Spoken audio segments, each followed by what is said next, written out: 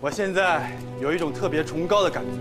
今天，我们为主义牺牲掉了自己的名士，在将来，我们为民族、为国家、为大众，还要准备牺牲掉自己的生命，这才是我们觉悟社最起码的觉悟。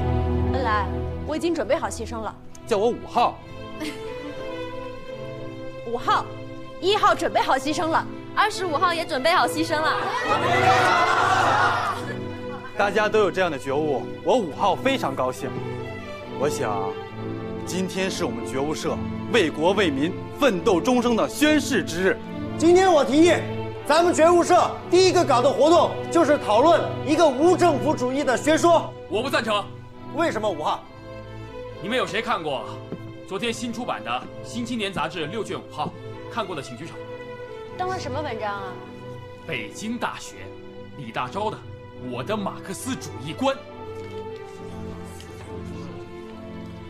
昨天晚上我连夜看过了，马克思真是个伟人，李大钊也是个伟人。今天是我们觉悟社的成立日，我提议，我们的第一个活动就是邀请李大钊来天津，为我们介绍介绍马克思主义。我复议，你当然是第一个复议的了。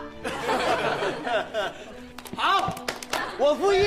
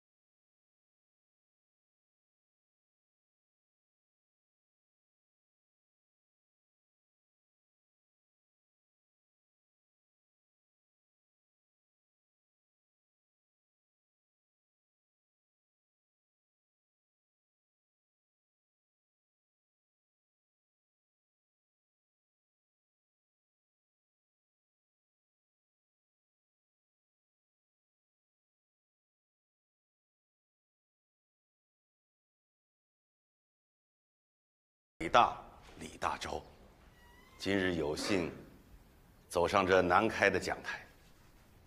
迎面，我看到的是一张马克思的画像，这让我感到中国的希望。想必有很多同学啊，都看过我写的文章。我最推崇的，就是马克思主义。那今日，在南开，就让我们好好聊一聊马克思和他的主义。马克思、巴枯宁，他们虽然像我们中国人的姓名，一个姓马，一个姓巴，可是他们都是洋人，他们的主义都是洋主义。难道我们四万万中国百姓就只有选择走洋路，才能摆脱黑暗吗？这么问问题，那不是为难先生？先听听李先生怎么说。这位同学的提问提得好。好，我们先不聊洋主义，我们先说一些无关乎主义的事情。说什么呢？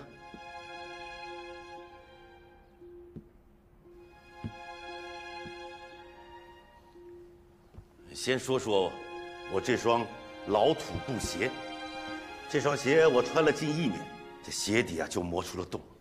前些日子我找鞋匠去修补，在鞋匠给我修补的时候，我就在想，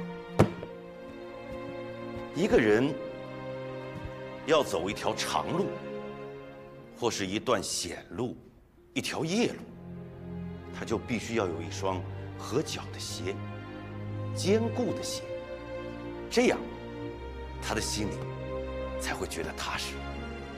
我想知道同学们都穿的是什么鞋，不妨举起来给我看一看。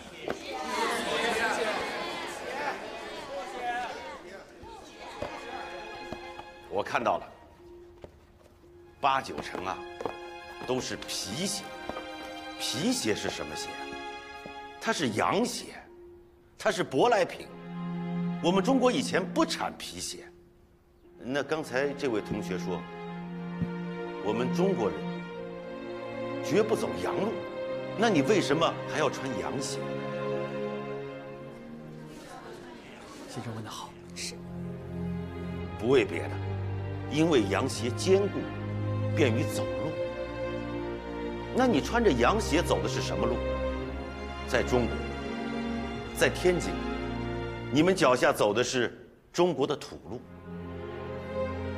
我们可否试着下这样一个决心：穿着洋鞋，在中国的土路上，走出一条新的路子，走出一条可以让中国民众获得利益之路，可以把帝国主义赶出中国之路，能够让军阀与暴政下台之路。正所谓“洋为中用”，这不是一条好路吗？这样的好路我们不欢迎吗？我们且当鼓掌欢迎。好先生说得好，我们不但要鼓掌，还要用我们的鞋来鼓掌。好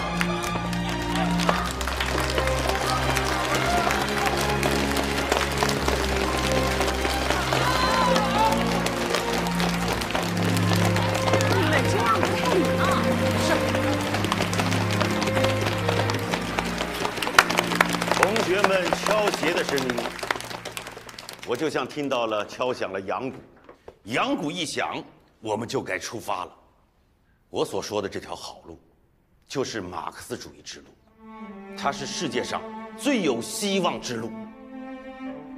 我们北方的邻邦，俄国，俄式革命的成功，正是实践了马克思主义的理论，无产阶级赶走了沙皇，当家做主。他们正在建立一个没有经济剥削、没有政治压迫、没有阶级的共产主义社会。这样的主义，不是好主义吗？这样的社会不适合我们中国吗？一八四零年，鸦片战争之后，每一个有良知的中国人，每一个痛心疾首的中国人，都在苦苦地寻找一条救国救民之道。但是，今日之政府是如何回答我们？刺刀，刺刀，还是刺刀。我们爱国，他们害国；我们想救国，他们在卖国。今日之中国，老百姓在呻吟，年轻人在流血，国土在沦丧，山河在破败。如若我们还不奋起，还不高举马克思主义的旗帜来救国救民，那我们将愧对列祖列宗，愧对子孙后代。我以为，马克思主义才可以真正的救中国，这才是中国的革命之路。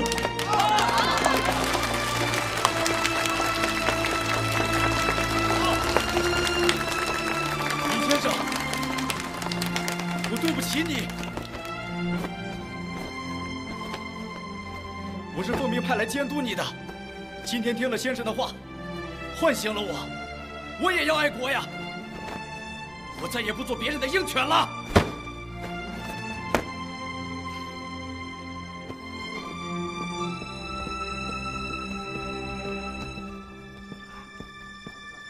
同学们，这个年轻人的行为让我很感动。中国之奋起，中国之觉醒，靠的就是你们年轻人的觉悟。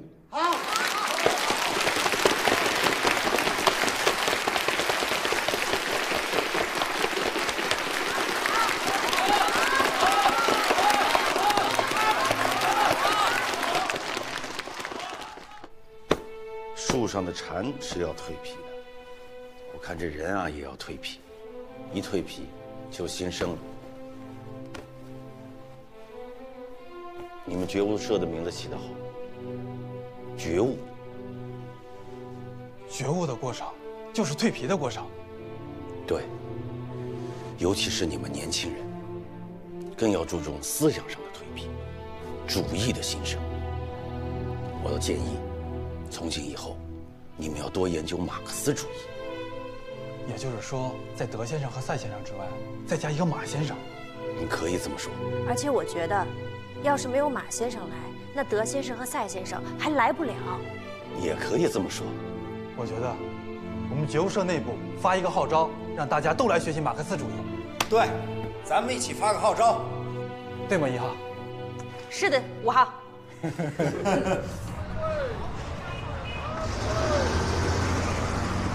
个毛泽东到底是什么水平？湘江评论，你马上带人把他给我查封了。让我去吗？你亲自去，我才放心。这个毛泽东不是很好对付，去了之后也别酿成什么大事，别闹得大家脸上都不好看。明白了，大帅。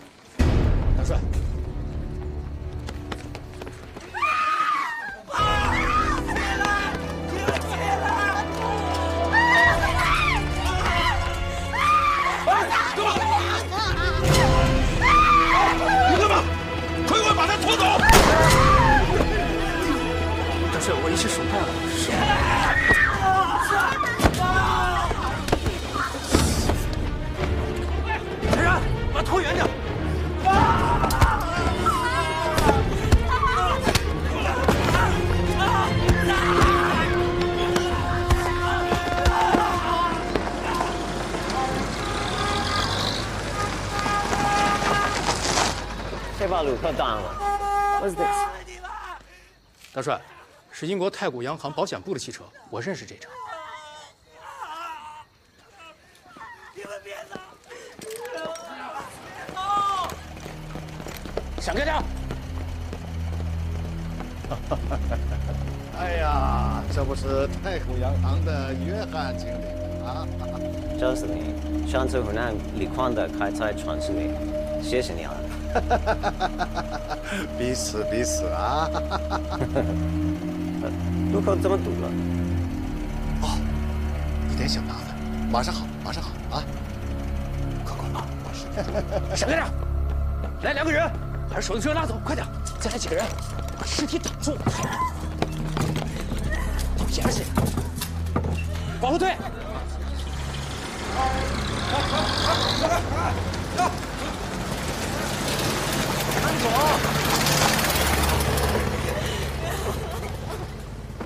上车。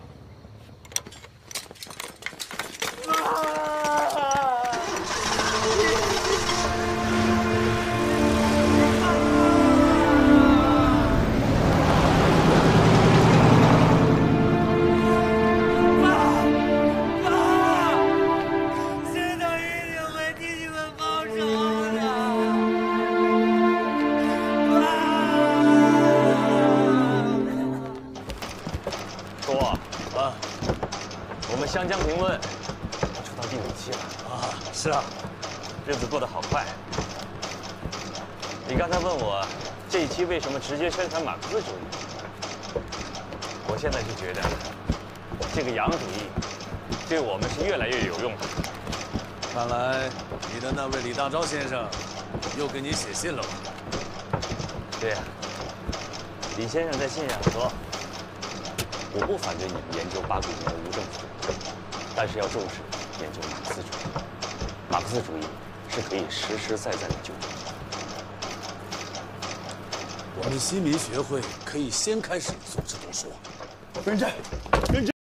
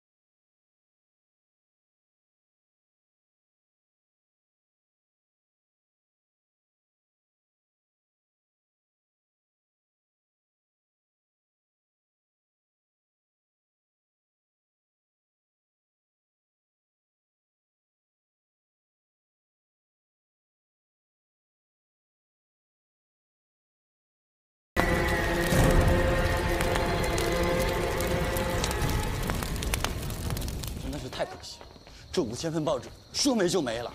英雄不争一日之长短呐！这是暴政，我们一定要抗争。哥，靠！泽民，马特，马特。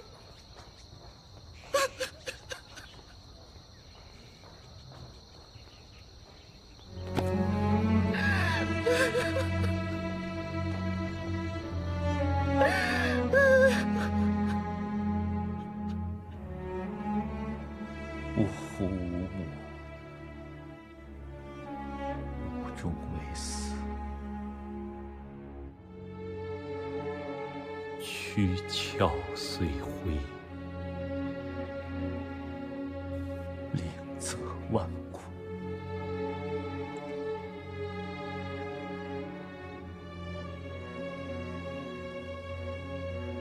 有生一日。捷报恩师，有生一日；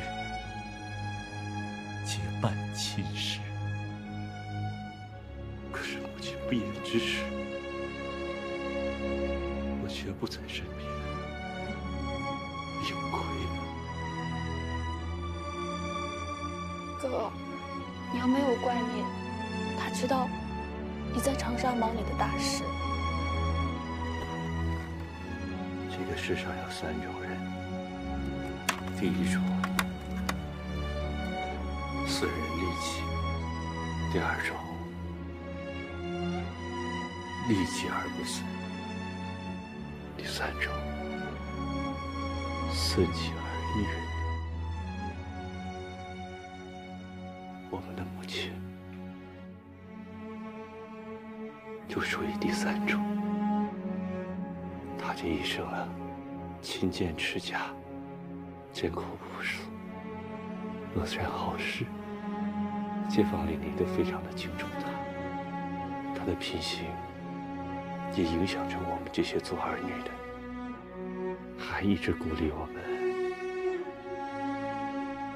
一定要走出去，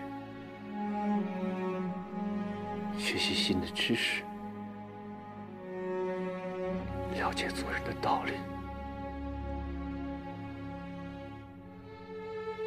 习知识，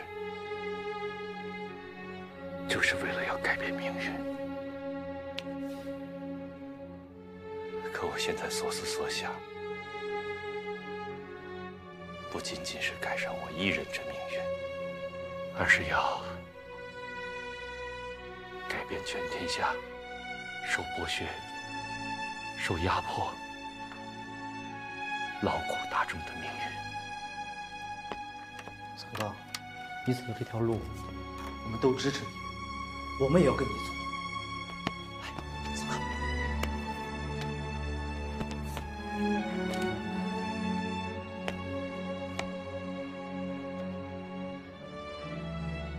父亲年纪大了，得了重病，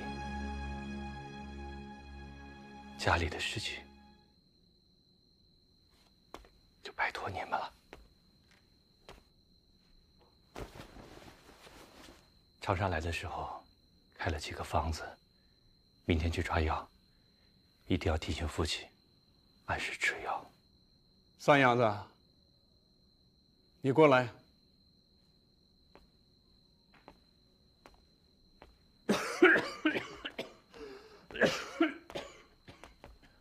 爹，慢点。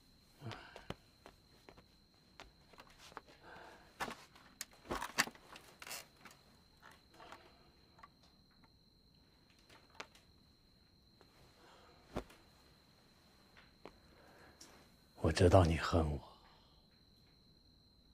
我骂你太多了。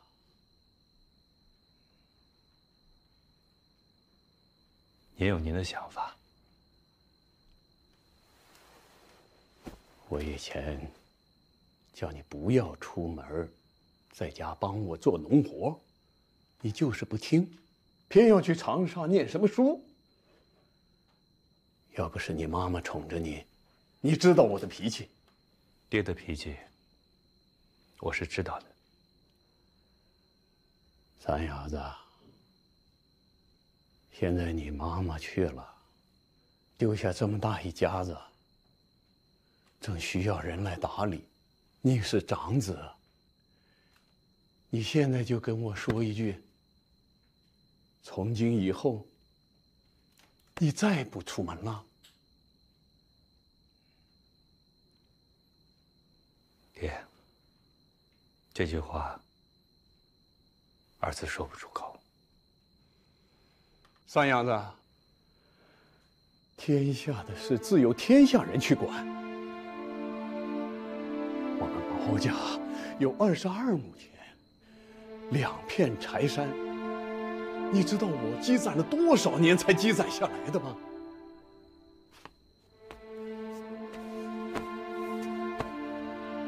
爹，你说孩儿不孝。儿子现在所思所想，不是我们毛家二十二亩田，而是湖南的百姓，国家的兴亡。等料理完母亲的丧事，我还要回长沙的。孽子，你这个孽子！你走吧，走出这个家门，你就别回来！打死你！打死你！打死你！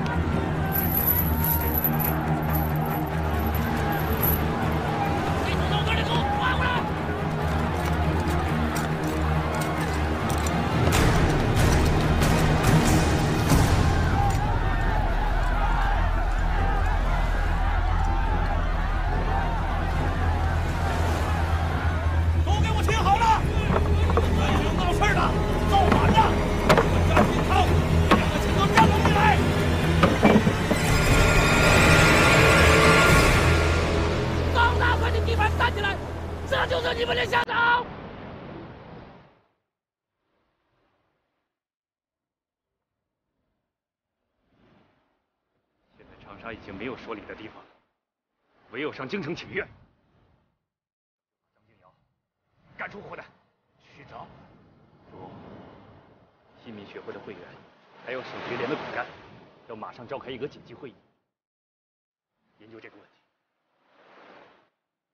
现在的局势是明摆着的，我们湖南各界的人士对军阀张敬尧的愤怒已经到了顶点。湖南的各校学生、教育界的人士，还有各个行业的工人。都已经到达了忍无可忍的地步。忍无可忍了。可以说，曲张的群众基础已经形成。这个分析是对的。现在长沙一片民怨沸腾啊！我们一定要利用好这次机会，坚决的把张敬尧赶出湖南，拯救三千万乡民于水火之中。张都一日不出乡，乡民一日不安宁。我们要做的，首先号召全省的学生总罢课，抗议张敬尧的暴行。这个可以，我们马上发动号召。第二，成立曲张团。我们成立的这个曲张团，不止一个，而是要多个。我们不仅派人去往北京的总理府、总统府去抗议请命，还要派人去上海、广州、衡阳、郴州、常德这些地方，发动公开请愿，公开揭露张敬尧的种种暴行，请求全国的舆论支持我们曲张。说得好，任之啊，我们大家一起行动吧！我去北京，如果各位不反对的话，由我来担任北京曲张团的团长。我立军令状，此行破釜沉舟，背水一战。如果张敬尧不赶出湖南，我毛泽东不回长沙。我何树亨不要跟他张敬尧拼个你死我活了。我请缨也带着区长请愿团去郴州，我争取面见湘军的首领谭延闿。谭延闿和张敬尧。怨仇很深，我要动员他发兵进逼长沙，赶张敬尧出湖南。书翁说得好，那就这样，我在北，你在南，我们南北一起努力，誓灭张都。好。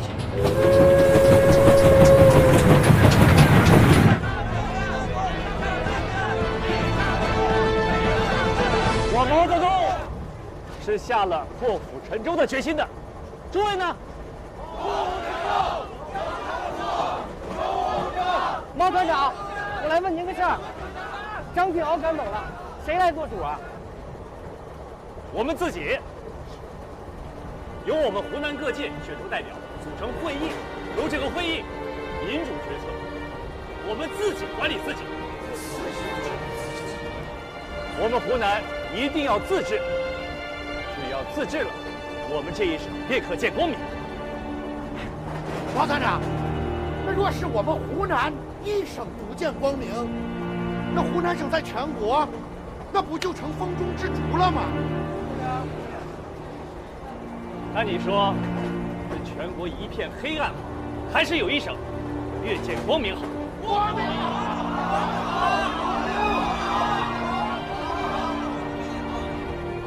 只要我们湖南省见光明了，其他各省也会纷纷效仿，寻求自治。这就叫做星火燎原，全国通明。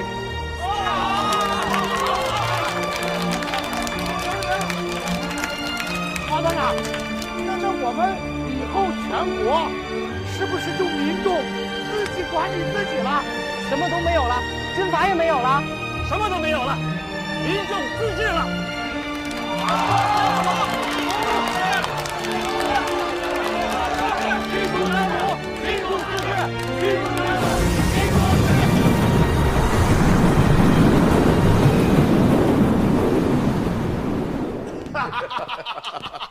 表弟啊，这两个箱子是给吴炳湘总监的，你看这分量够不够？啊，这可是重礼呀！表弟啊，还要靠你在京城帮我多活动活动啊！回到京城之后，表弟一定尽力，绝不让毛泽东捣乱成事。好，好啊！我知道我是调动不了京市警察厅的，我也知道京城的警察厅也不会向那些湖南暴民施以重手的。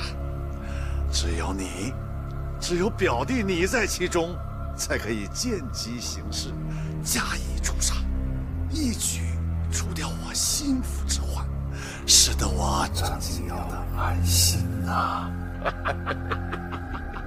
表哥呀，啥都不说了啊，这两只箱子，我为本收下了。好，好，我就等你这句话呢。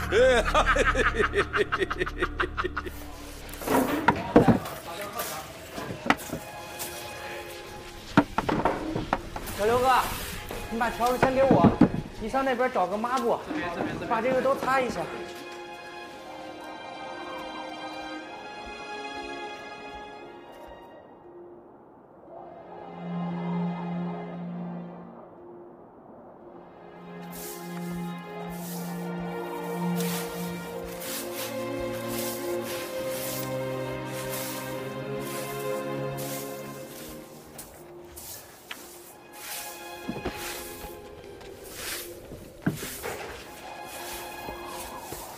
王团长，这屋里可太冷了，咱能在这儿住吗？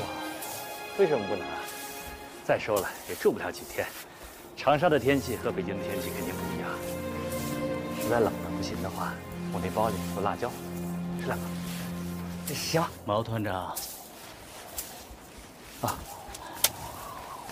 师傅，毛团长，北京的天冷，给您送个火盆，烤烤火。咱寺里的柴火虽说不多，但是用上十天半月还是有的，咱就将就点吧。多谢师傅了。吃饭烧水我们自理，尽量不会打扰师傅们清修。对了，这是十天的租金，您收下。十天恐怕不行吧？十天，十天足够了。依我看，三天就行。三天之后，我们就胜利还乡了。但愿吧。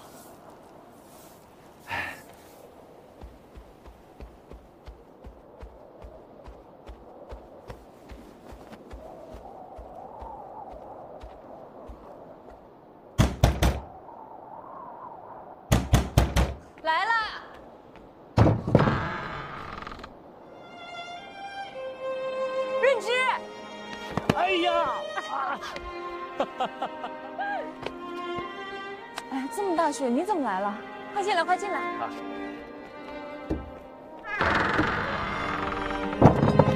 快进屋！你说这么大的雪，你也不打伞？哎，你鞋都湿了。在北京站那双鞋我还给你留着呢，去换一下。先去见先生，我有很多话要跟他说呢。哎。先生，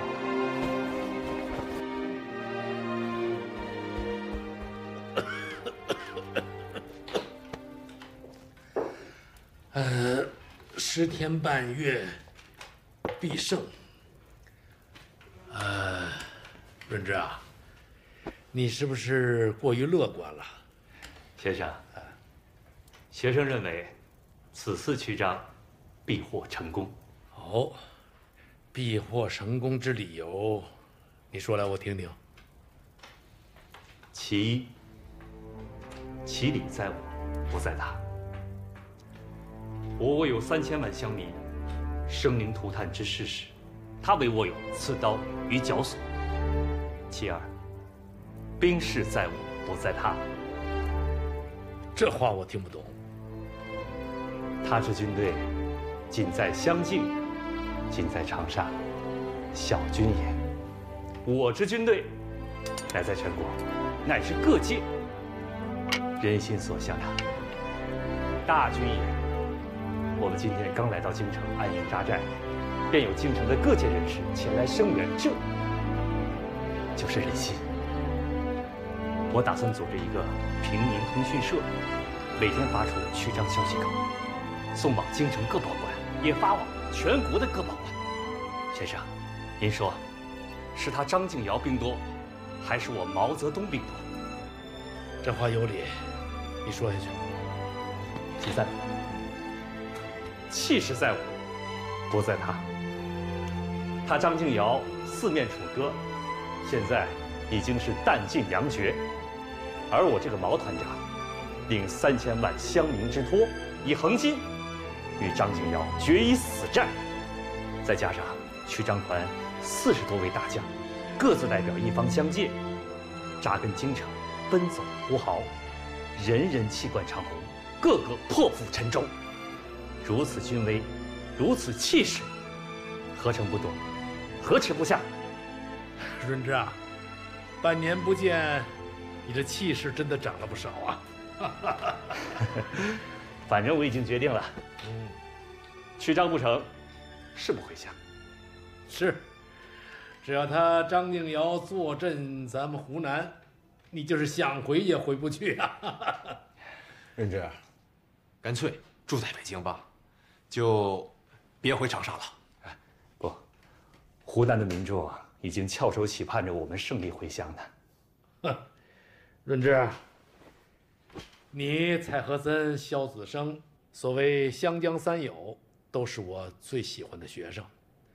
他们两个去了法兰西，而你却留在国内，跟恶政做斗争。我杨昌吉的身体是一天不如一天了。我唯一的希望就是你们这些好青年，都能走上光明之路。为国为民效力，国之希望就都寄托在你们身上了。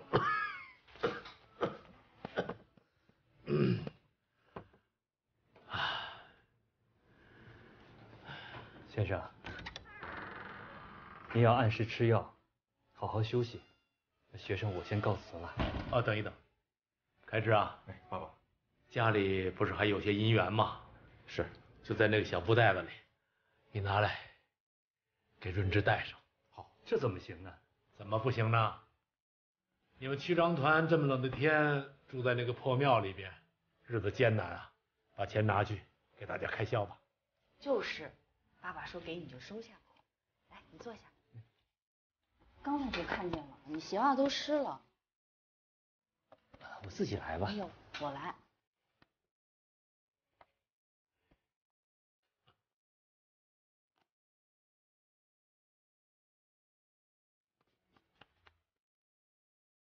舒服了吧？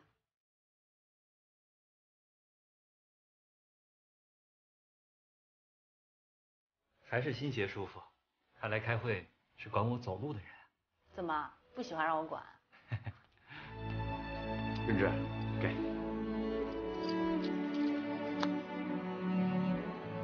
润之，要不你就留下吧。这间厢房不还空着吗？你和蔡和森、肖子生在那里挤了十多天，开会，去把那间房打开，让润之住在那里吧。好，不用了，先生。润之现在是毛团长了，理应和自己的团员挤住大殿，等到我们胜利了，把张敬尧赶出湖南，我再过来住，好好照顾先生，尽尽学生的心意。润之说的也有道理。继任团长之职，就要谋团长之事。那我就不留你了，啊！记住，要照顾好自己，同时也要防止恶势力捣乱啊！谢恩师提点，告辞了。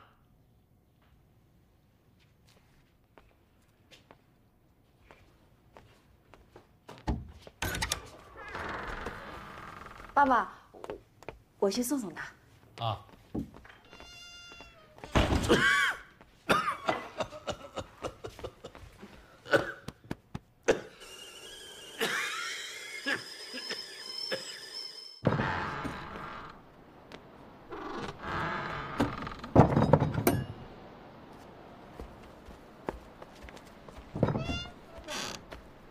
润之，润之，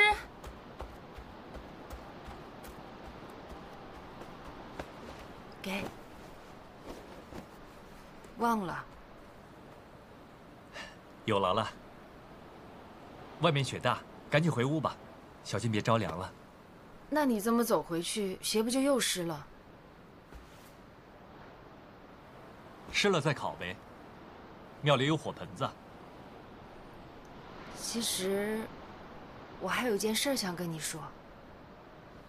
你说。是关于父亲的。他的身体真的很不好，我们跑了好多医院，医生看了都直摇头，说可能是过不了今年。